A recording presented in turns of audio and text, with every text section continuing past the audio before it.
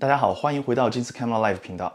最近需要测评的东西有点多哦，那比如说 GoPro 十、iPhone 十三，还有洋葱工厂的一系列新品等等。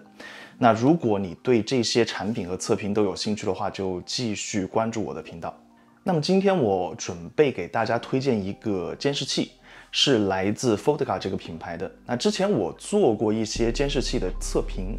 因为本身我自己拍摄也会用到监视器啊，但是之前的一款被我摔坏了，所以我才换了这个 fotga 这个监视器来用。那如果你也在考虑购入一款一千元左右的这个监视器设备，那么这款 fotga C50 也许是你可以考虑的。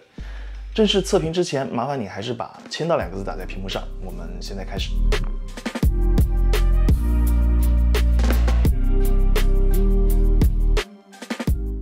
那么我手上的这台就是这个 f o t o g a C50 啊，那外观颜值没得说，很好看。对于一款监视器来说，你认为最主要的是什么呢？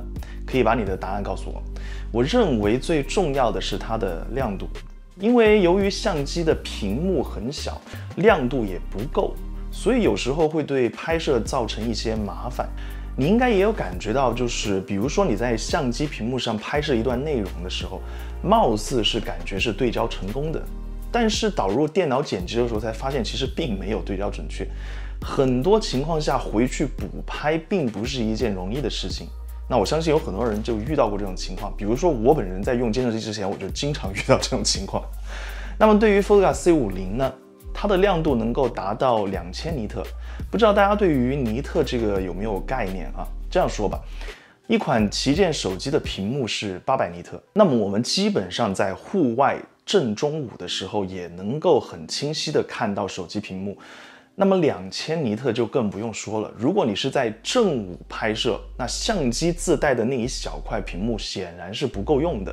这个时候你就需要一块比较亮度比较高的监视器来辅助你的拍摄。在外观上，除了背后的这个大 logo 和这个散热孔的这个超有型的搭配之外，很贴心的，它在左右两侧也加入了足够多的螺口来满足你搭载其他设备上的一个要求。另外，除了这点之外 f o c a C50 也可以加载 3D LUT。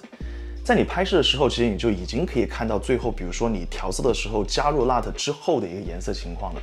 那么对于其他的，比如说构图啊、曝光啊、直方图啊，还有伪色、峰值、对焦等等，都一应俱全。对于这款监视器来说，如果你是入门级的玩家，我认为是值得你去考虑的。那么下一期节目我会带来关于这个最新上市的这个 GoPro 十的一个测评啊，那记得观看。我是静，如果你喜欢这期视频，欢迎你一键三连和关注我的频道。我们下次见，拜拜。